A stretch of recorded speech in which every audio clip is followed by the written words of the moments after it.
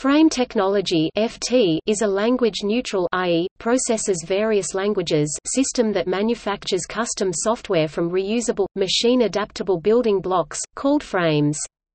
FT is used to reduce the time, effort, and errors involved in the design, construction, and evolution of large, complex software systems. Fundamental to FT is its ability to stop the proliferation of similar but subtly different components, an issue plaguing software engineering, for which programming language constructs subroutines, classes, or templates, generics or add-in techniques such as macros and generators failed to provide a practical, scalable solution. A number of implementations of FT exist. Netron Fusion specializes in constructing business software and is proprietary. ART adaptive reuse technology 2 is a general-purpose, open-source implementation of FT. Paul G. Bassett invented the first FT in order to automate the repetitive, error-prone editing involved in adapting generated and hand-written programs to changing requirements and contexts. A substantial literature now exists that explains how FT can facilitate most aspects of software's life cycle, including domain modeling, requirements gathering, architecture and design, construction, testing, documentation, fine-tuning and evolution. Independent comparisons of FT to alternative approaches confirm that the time and resources needed to build and maintain complex systems can be substantially reduced.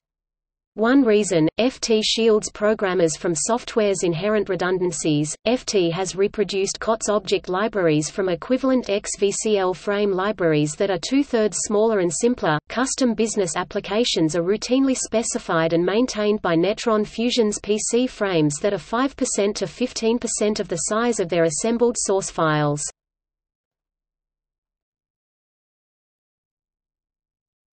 Topic: Frames Below are two informal descriptions, followed by a more precise definition and explanation. A frame is an adaptable component on an automated software assembly line. Imagine an auto factory where, instead of having specific bumpers, fenders, and other parts to suit the specifics of each car model, we have just one generic bumper, one generic fender, and so on. Now imagine that these generic parts could be cloned and shaped to fit each car model as it came down the line.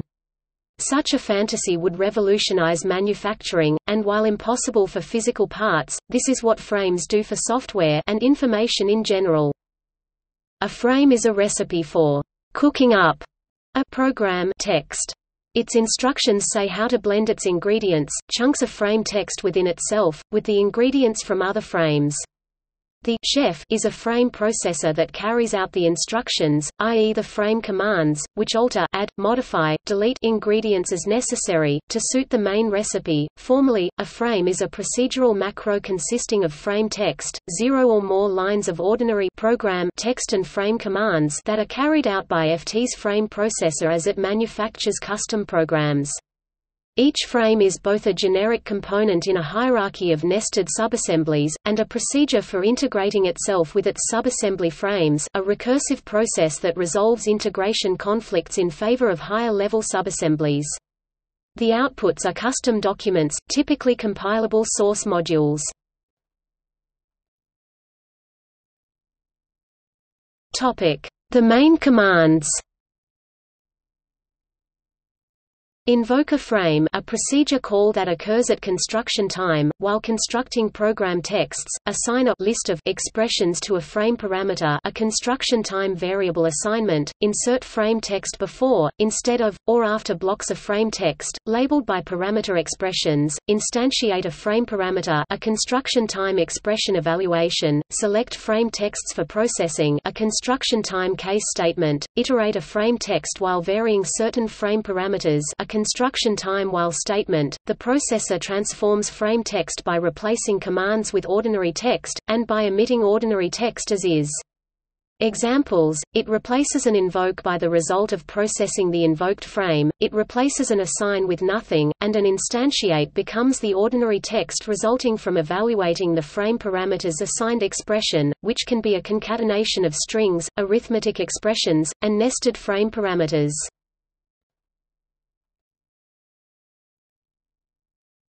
Topic: Component relationships.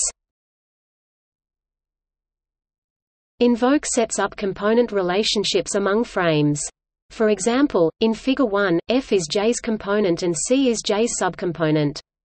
Of course, many components may invoke the same subcomponent, as in I and J invoking F, each constructing a different text. The overall component structure forms a generic semilattice, with each frame being the root of a subassembly. Thus C is its own subassembly, F and C are components of the F subassembly, and J, F, and C are components of the J subassembly.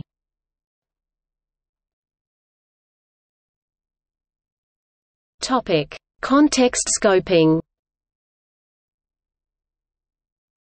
Context scoping is what distinguishes FT from other modeling and construction systems. Each frame constitutes the context into which it integrates its subassembly.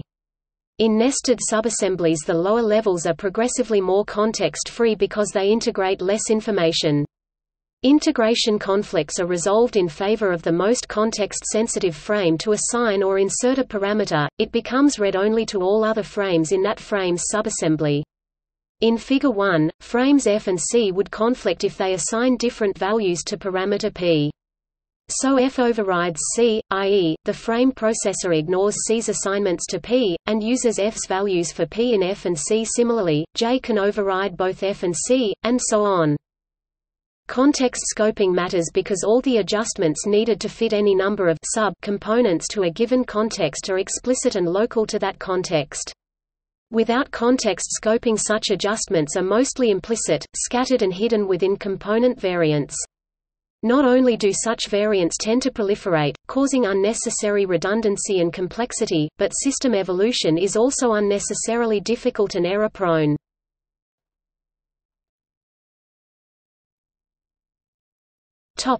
Specification frames and templates A specification frame SPC is an entire assembly's topmost, hence most context-sensitive frame. The processor starts at an SPC, such as L or M in Figure 1, in order to manufacture a complete program or subsystem. While in principle an SPC could customize every detail, in practice an SPC is a small fraction of its entire assembly because most of the exceptions and exceptions to exceptions, etc. have already been handled by various subassembly frames. Given a frame library, SPCs logically entail the programs they construct, thus SPCs replace source files as primary control points. It's routine practice to use templates to create SPCs that create programs, then use SPCs to manage and evolve those programs indefinitely. This practice greatly reduces the number of details that application programmers must know and manage.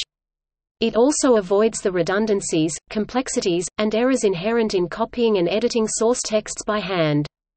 Debugging time shrinks as well because most components are reused, hence pretested. Errors tend to localize in SPCs, as they are the least tested. A template is an archetypal SPC, with embedded comments explaining how to customize it.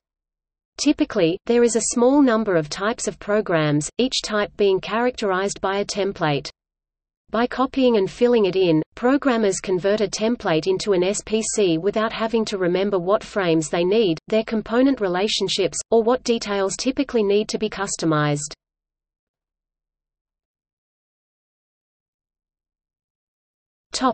Frame-based domain-specific languages.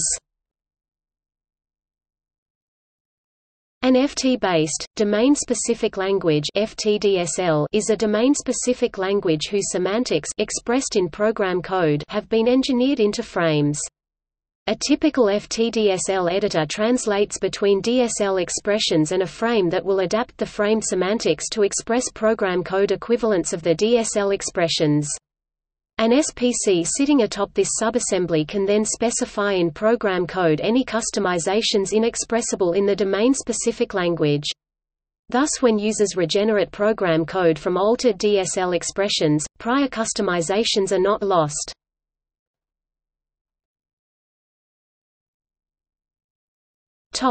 Frame engineering Frame engineering applies software engineering to a frame technology environment. This includes domain analysis, designing, writing, testing, and co-evolving frames along with the systems they construct. Framing occurs both bottom-up and top-down.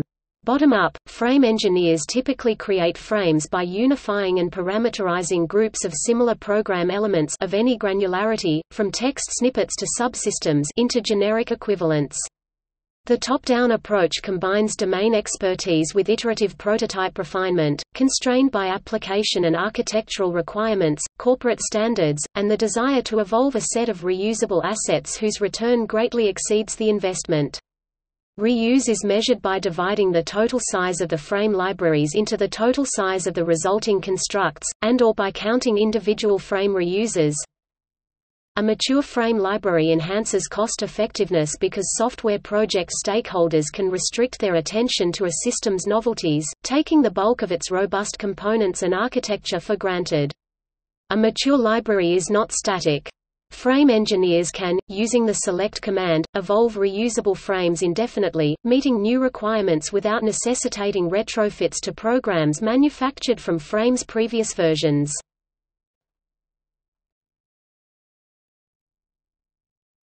Topic. Footnotes